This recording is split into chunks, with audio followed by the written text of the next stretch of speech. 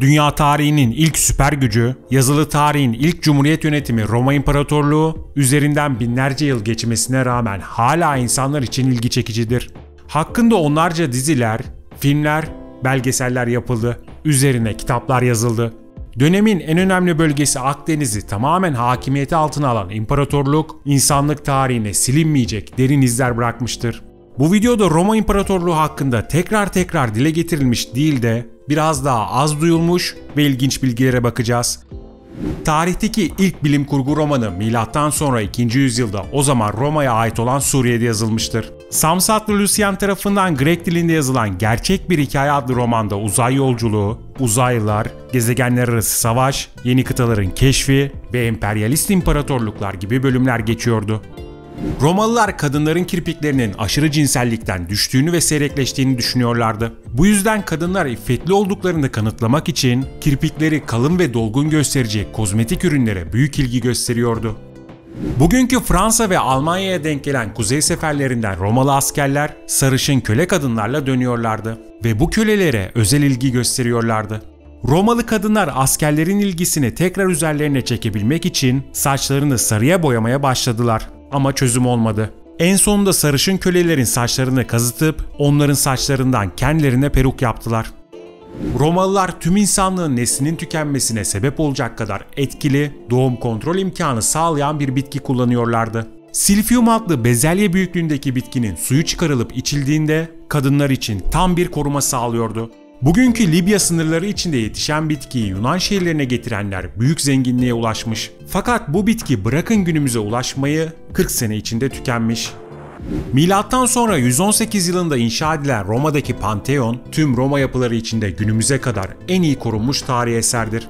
Michelangelo burayı ilk gördüğünde insanlar tarafından değil de melekler tarafından yapılmış bir eser gibi göründüğünü söylemiş. Ayrıca Roma Pantheon'u 2000 yıllık olmasına rağmen hala dünya üzerinde en büyük desteksiz kubbeye sahip yapıdır.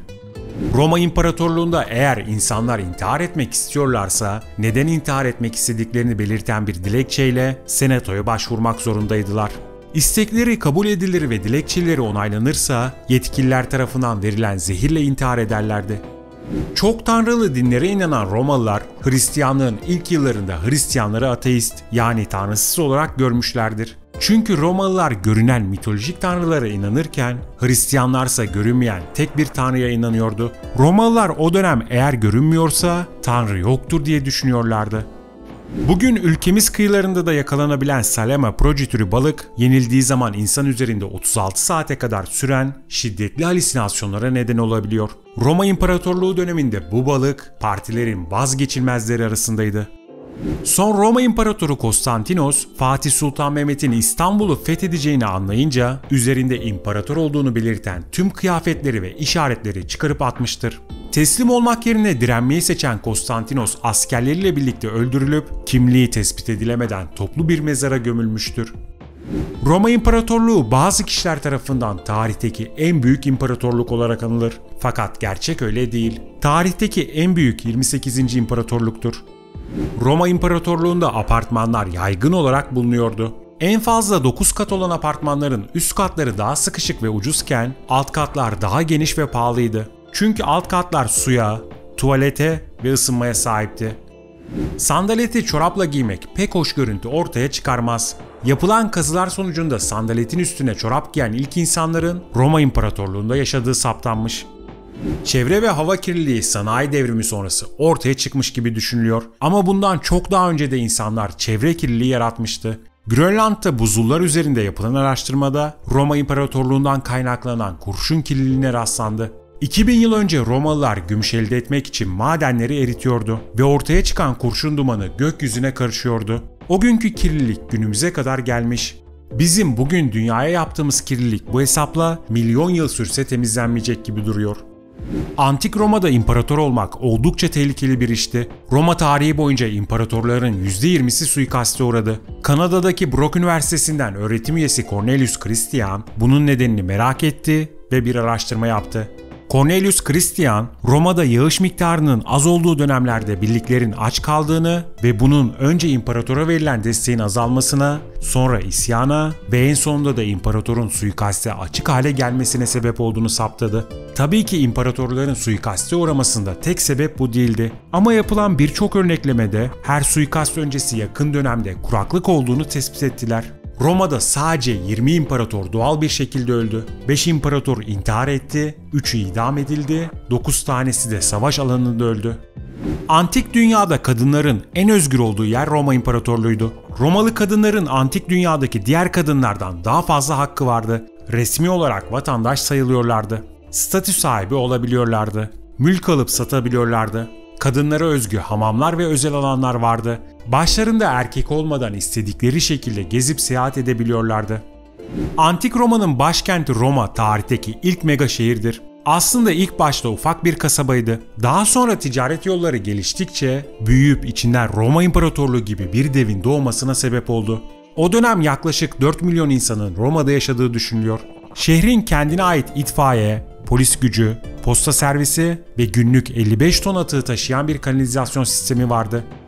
Roma'da bu kadar çok insanın bir arada yaşamasının ve Roma İmparatorluğu'nun büyük bir imparatorluk olmasının altında yatan neden su kemelleridir. Çünkü medeniyet suyla gelişir. Su kemerlerini ilk icat edenler Romalılar değildi. Fakat geliştiren ve popülerleştiren onlar oldu. Su kemeri mühendisliğinde çok ileri olan Romalılar basit ama etkili ve mükemmel bir inşa bilgisine sahipti. İstanbul'un simgelerinden Fatih'teki Bozdoğan kemeri de Romalılar tarafından yapılmıştır. 2000 yıl geçmesine rağmen Roma İmparatorluğundan birçok yapı günümüze kadar gelmiştir. Çünkü Romalılar dünyadaki en iyi betonu keşfetmişler. Bu betonun ana bileşeni volkanik küldü. Roma'nın hemen yakındaki Vezüv yanardağı onlara bu volkanik külü sağlıyordu. Kireç taşı ve deniz suyuyla karıştırılan volkanik kül bugüne kadar bilinen en güçlü harcı ortaya çıkarmıştır. Muğla'nın Yatağan ilçesinde Romalılardan kalma bir fiyat listesi keşfedildi. Yakın tarihte de bu fiyat listesinde neler yazdığı çözüldü. Romalılar enflasyon yükselmesin diye tavan fiyat uygulaması yapmışlar. Esnaflar belirlenen fiyatların üzerinde mallarını satamıyordu. Ayrıca destekleme sistemi de geliştirmişler. Pazara gelen ürünlerin maliyetinin bir kısmını zenginler karşılıyordu. Böylece tüketici ve üretici doğrudan desteklenmiş oluyordu. Romalılar kanepeye uzanarak elleriyle yavaş yavaş yemek yemeyi çok seviyordu ve bu çok yaygındı. Bazen kaşık kullanıyorlardı ama asla çatal ve bıçak kullanmıyorlardı. Ayrıca zenginler leylek, papağan rosto ve flamingo gibi egzotik yiyecekleri çok severdi. Romalılar batıl inançlara çok inanırdı. İmparator Augustus da bunlara dahildi. Augustus ayakkabısını giyeceği zaman önce sağ ayağını giyerdi. Çünkü solun şanssız olduğuna inanıyordu. Garip bir şekilde Latince'deki sol kelimesi sinester aynı zamanda uğursuzluk anlamına geliyordu. Genelde bugünkü İtalyanların Roma soyundan geldiği gibi bir düşünce var. Ama bu tarihçiler tarafından bile hala kesin olarak doğrulanmış değil. Bugünkü Avrupa milletlerinin çoğu Roma topraklarını işgal eden barbar kavimlerin soyundan gelmektedir. Romalıların inandığı tanrılardan biri tuvalet tanrısıydı. Dışkıların ölüler için yemek olduğuna inanan Romalılar tuvalet tanrısının bu görevi yerine getirdiğini düşünüyordu. Romalı kölelerin isyanlarını hepimiz biliyoruz. Bunun temelinde yatan bir neden var. Efendilerin zalimce davrandığı hanelerde kölelerin kaçması çok yaygındı. Günümüzde işçi haklarına saygı duymayan işyerlerinden istifa eden çalışanlar gibi. Böylelikle isyan kültürü Roma'da yaygınlaşmış. Roma'da ortalama yaşam süresinin 25 ile 35 arasında olduğu gibi bir yanılgı var. Romalı insanlar o günün şartlarına göre oldukça uzun ömürlü hayat yaşamışlar.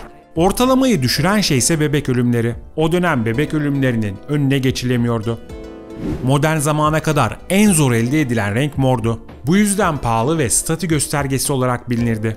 Roma'da sadece krallar ve asiller mor renk giyebiliyordu.